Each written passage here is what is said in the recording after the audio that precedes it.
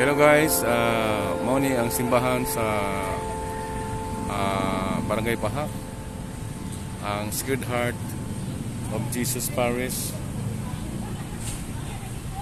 Uh, mao ni lang uh, naay kantin, naay dagutanan, naay dako-dako sa inyong parkingan.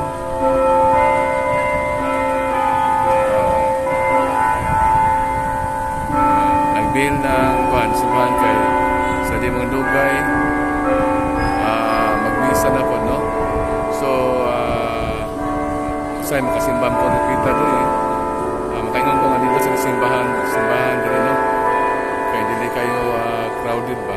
Kunya kini po nga ah, simbahan na bagay sa mga barangay nga an an tanan ni murag membro ba sa simbahan.